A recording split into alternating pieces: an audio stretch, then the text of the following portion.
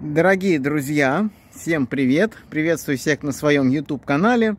А вашему вниманию предлагается лот под названием ЗАЗ 968М 1983 года выпуска.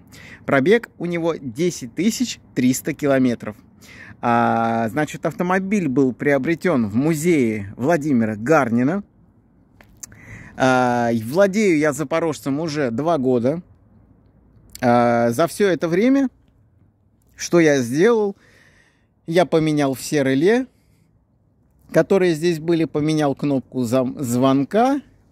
А, и, значит, сейчас необходимо, не открываются механизмы стекол, видимо, от старости уже. Я купил новые, но пока их еще не установил. Мы пробовали, что-то у нас не получилось, папа не стало.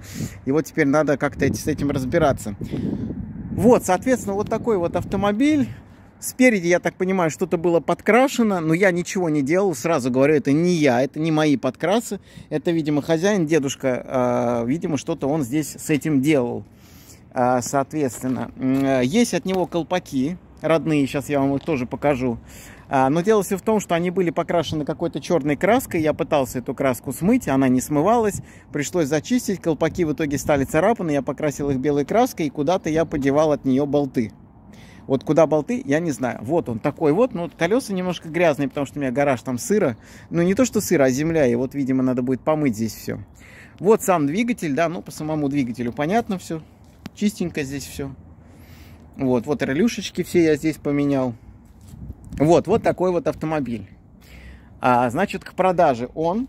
Вот от него колпаки, я покрасил их в белый цвет, чтобы они не ржавели дальше. Вот где болты, не знаю.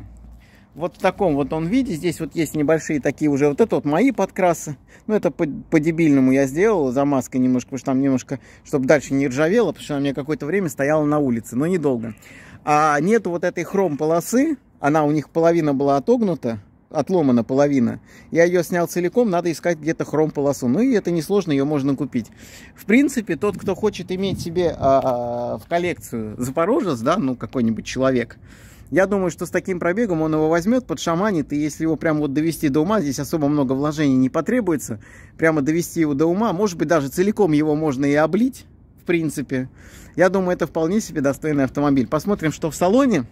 А, вот здесь вот единственная была проблема, небольшая была здесь дырочка, потому что мне сказали, что он стоял в музее, и вот в это место капала вода, и здесь проржавело, но мне вот сосед по гаражу здесь сделал вот такую вот, э, ну, как бы заварил такую, сделал заплаточку вот здесь, и теперь она, здесь вот заплаточка, потому что снизу затекала вот туда вода. Ну, вот здесь я периодически открываю, смотрю, чтобы там не было воды, все просушиваю. Вот это, конечно, немножко ковролин порван, но он такой и был. Ну, вот такой вот руль, чехольчики, коричневый салон. Здесь немножко у меня это надо протереть, машина зиму стояла. Ну, гараж такой не сильно сухой, но и не сильно сырой. Вот, багажничек тоже был с ним. Стоимость данного автомобиля, ребята, ну, сейчас, может, кто-то скажет, что я немножко попутал, но ретро-техника сейчас слишком дорогая.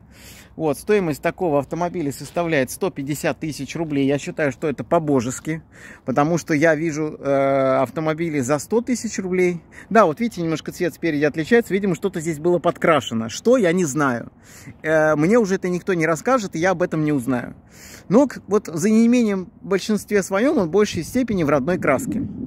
А, что говорю, продают за 100 тысяч Запорожец, у которого пробег уже там за 80.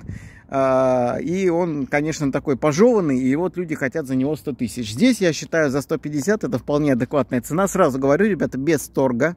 Торга нет абсолютно от слова совсем, потому что мне нужны будут деньги на приобретение другого автомобиля.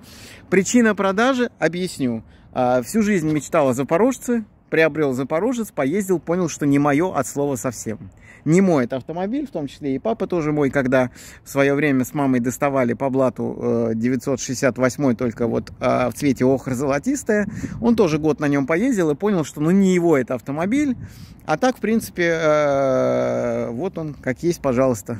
Сейчас вот немножко я проведу диагностические работы, потому что снизу там что-то стало немножко так, какие-то появились посторонние шумы. Вот мы потом заедем на эстакаду, посмотрим, что там, что это такое, с чем это едят, потому что я с подвеской как бы здесь не знаком, надо будет с этим всем разбираться. А так, в принципе, вот я в прошлом году ездил два раза на выставке. Вот я в основном езжу на нем только на выставке, больше он у меня не едет, в основном в большей степени стоит в гараже. Поэтому кого заинтересует, то, соответственно, пожалуйста.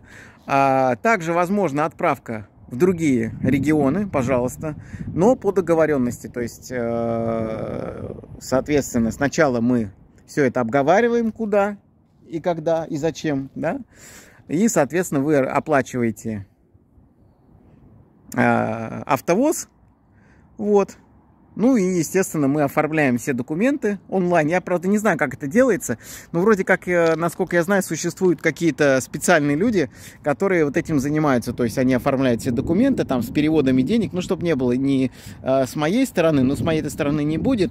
Это вот тоже здесь немножко красочка надо, конечно, его, по идее, подкрашивать, но я этого ничего не трогаю, потому что в большей степени он в родной краске. А, там уже специально занимаются люди, а, которые вот этим, чтобы не было киднеппинга ни с одной, ни с другой стороны. Ну, с моей стороны никакого киднеппинга, конечно же, не будет. Вот. А, деньги получаю на карту, автомобиль тут же отправляю. Я могу все это делать в режиме онлайн.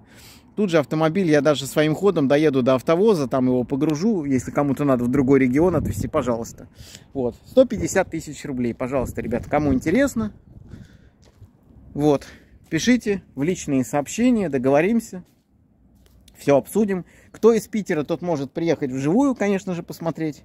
Но, естественно, только если вас интересует покупка. Не просто так приехать, посмотреть, поинтересоваться, да, у меня не музей. А именно просто вот еще у советский ретро-чемодан.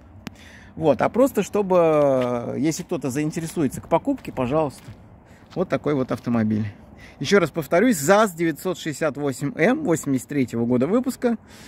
Пробег 10 300, цена 150 тысяч рублей. Кого заинтересует, пишите в личные сообщения, либо в комментариях. И, соответственно, мы с вами все обсудим. Все, всем большое спасибо за просмотр. Подписывайтесь на канал, ставьте лайки. И всего самого наилучшего. Пока-пока.